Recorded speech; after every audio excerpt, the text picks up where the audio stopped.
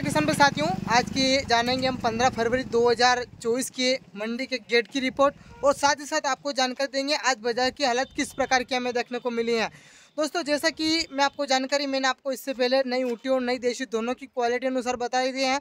ऊँटी के लोट मंडी में ज़्यादातर देखने को मिलते हैं क्योंकि ऊँटी का गढ़ है तो ज़्यादातर लोट ऊँटी के ही देखने को मिलेंगे, देशी में आपको कम देखने को मिलेगी। तो ये जो वाहन आपको मंडी के पीछे वाले गेट पर आज देखने को मिलेंगे, लगभग लगभग डेढ़ सौ वाहनों के आसपास की कतार हमें मंडी के पीछे वाले गेट पर देखने को मिली है। साथ ही साथ बताना चाहूँगा कि नीलामी कार्य के चलने के बाद या फिर मंडी के गेट लगने के बाद में टू व्हीलर वाहनों को मंडी के अंदर प्रवेश नहीं दिया जाएगा, ये मैंने आपको कल भी सजेशन दिया था, लेकिन फिर भी किसान भाई आए हैं मंडी के अंदर तो उनको प्रवेश नहीं मिला है, गेट पर वो प्रतीक्षा में खड़े हैं टू व्हीलर बाइक वाले। तो दोस्तों, मैं आपको बता रहा हूँ कि टू व्हीलर पर अपनी लहसुन लेकर आप मंडी में ना आए, ताकि आपको अनावश्यक परेशानी का सामना ना करना पड़े।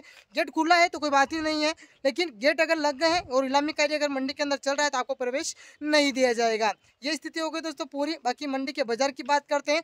तो देशी में ये इस प्रकार की स्थिति ध्यान से सुनिएगा दोस्तों, मैं आपको जानकारी बता देना चाहूँगा। आज के बाज़ार की ऊँटी की बात करते हैं, ऊँटी में नीचे में बारह से लेकर ऊपर में बीस तक के बाज़ार है। कोई स्पेशल क्वालिटी आए तो वो इससे ऊपर मंडी के अंदर बिक्री, बाकी कम ही। है बाकी अगर देशी की अगर बात करें तो नीचे में पाँच हज़ार है, ऊपर में पंद्रह से सोलह यानी कि आप बाज़ार खुद ही देख पाएँगे जो अमूमन चाल मैंने आपको बता दी है। जो लोट पच्चीस पच्चीस हज़ार और छब्बीस छब्बीस हज़ार बिक रहे थे, उनकी चाल बीस हज़ार से अंदर है।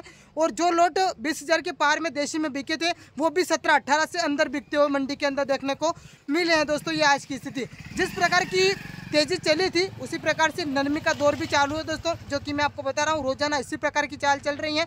जो कि स्थिति मैंने आपको बता दी है और कुछ स्थिति जो बाकी थी, वो भी अभी मैं मंडी के अंदर देख के आया हूँ तो आपको मैंने चाल भी बता दी है। देशी के लोट पाँच हज़ार से लेकर पंद्रह हज़ार, ऊँटी के लोट बारह हज़ार से दस हज़ार, कोई कमज़ोर क्वालिटी है तो उस पर ध्यान दीजिएगा आप। बाकी बारह से लेकर बीस हज़ार की बीस की चाल ज़्यादातर हमें मंडी के अंदर देखने को मिली, या फिर दस से लेकर बीस तक की चाल ऊँटी लहसुन में। देशी में पाँच से लेकर पंद्रह हज़ार तक की चाल।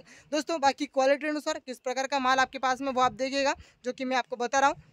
अंदर भी आवक काफ़ी जोरदार है। मंडी के अंदर जो हमें देखने को मिली, गेट की रिपोर्ट की अगर जानकारी बता देते हैं आपको, जो कि दोपहर की स्थिति में आपको बता रहा हूँ पौने दो बजे या दो बजे के आसपास की अपडेट आपको देखने को मिलेगा। लेकिन दोस्तों, इसके बाद में लगातार मंडी के अंदर वाहन आ रहे हैं मंडी की ओर और और लगातार कतारों में लग भी रहे हैं। तो मैं जो जानकारी दे रहा हूँ, इसके बाद में और भी आवक मंडी के अंदर गेट पर जो बढ़ सकती है, वाहनों की कतार।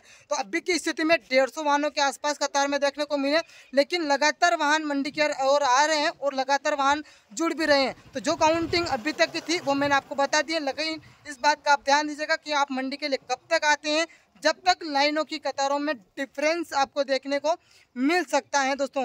जो कि मैं आपको बता रहा हूँ कि डेढ़ सौ वाहनों के आसपास की ये पौने दो से दो बजे की स्थिति है, जो कि आप देखेंगे। लेकिन आप मंडी के लिए शाम तक आते हैं, चार बजे तक आते हैं या फिर रात्रि के आठ बजे तक आते हैं, वो उस तक जानकारी में कोई परिवर्तन हो सकता है मंडी की स्थिति में। ये पूरी रिपोर्ट थी दोस्तों, जो कि दोपहर तक की मैंने आपको बता दी है, बाज़ार की चाल भी। तो तीन तीन हज़ार से ज़्यादा बाज़ार का आज डाउन हमें देखने को मिला दोस्तों। पक्के तीन तीन हज़ार कोई कोई लोग तो चार चार हज़ार भी डाउन है। तो कहीं कहीं इससे ज़्यादा भी नरमी आज मंडी के अंदर हमें देखने को मिली है। चाहे ऊँटी हो, चाहे वो देसी क्वालिटियाँ हो। आवकों का काफ़ी ज़्यादा प्रेशर साथ साथ कच्चे माल की क्वालिटियाँ भी। तो दोनों की ओर से बाज़ार में आज नरमी का दौर हमें देखने को मिला है। जिस प्रकार की तेज़ी मंडी के अंदर चल रही थी तो उसी प्रकार से नरमी भी जारी है, जो कि मैंने आपको बताई है। क्योंकि हलचल होना तय है। जैसा कि बाज़ार था तो वो संभावना ही नहीं थी कि इस प्रकार के बाज़ार टिके रहें।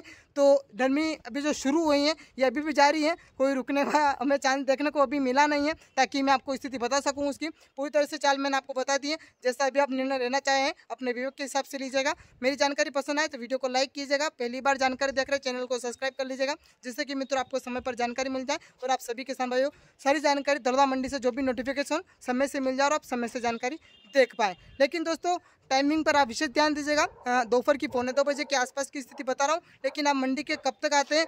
क्योंकि दोस्तों, अभी तक तो स्थितियाँ इस प्रकार की हैं कि किसान भाइयों के पास में लगभग लगभग लहसुन तैयार है पूरी तरह से तो जानकारी अपडेट मिलते से किसान भाई घर से निकलते हैं, कोई रस्ते में है तो आधा पता नहीं है, कौन कहाँ पे है, कौन कहाँ पे तो मंडी तक आने में ज़्यादा टाइम लगता नहीं है। तो जिसकी वजह से स्थिति में काफ़ी कम टाइम में ज़्यादा परिवर्तन देखने को मिलता है। तो जो भी डिसीज़न आप लेना चाहेंगे, अपने विवेक के हिसाब से लीजिएगा।